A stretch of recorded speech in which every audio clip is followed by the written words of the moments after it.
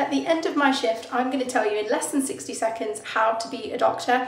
Also, I'm going to be posting a video on my channel about how much I earn as a less than full-time doctor, so please sub if you want to see.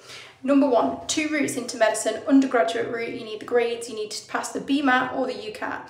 Route number two, graduate entry medicine. For those of us like me who are a bit older, you need to pass the GAMSAT and you can be from a non-science background. I have a theology degree. Different universities will take you, not all of them will take you, and you need to pass the GAMSAT. Okay, work experience. You're going to need really great work experience.